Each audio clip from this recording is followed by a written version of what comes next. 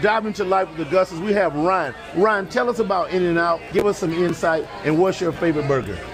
My favorite burger is on the west side, being on the double, a, a quadruple plain, and A quadruple? Whoa. I can get a double meat, and then I can get two extra patties. But I have mine plain for as long as I can remember. It melts in my mouth. It's so good and crunchy, delicious. and um, what I like to go with is animal fries on a Friday night and an extra large shake. Oh, wow. What's your favorite shake? Strawberry. Strawberry. Okay. Well, I haven't eaten a hamburger in 25 years. Oh my God. I usually do chicken or turkey, so I used I've always had In-N-Out before I ate, ate beef, but today I'm getting off my diet and I'm gonna try. I can't do the quad. I'm just gonna do a single. Yes, indeed. hey Ryan, thank you. Nice to meet you. What milkshake should I have?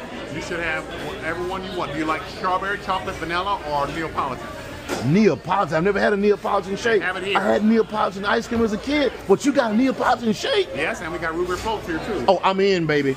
Ryan, thank you for diving. Say, I want you to repeat after me. I'm diving I'm diving into life into life with Augustus. with the gusto. So go subscribe. So go subscribe. Thank you, Ryan. Appreciate you, baby. All right.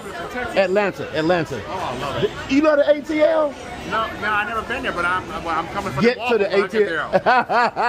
How you like it out there? I love Atlanta. I've lived there uh, since 1988. Great city, great city. But you got something exciting coming to LA.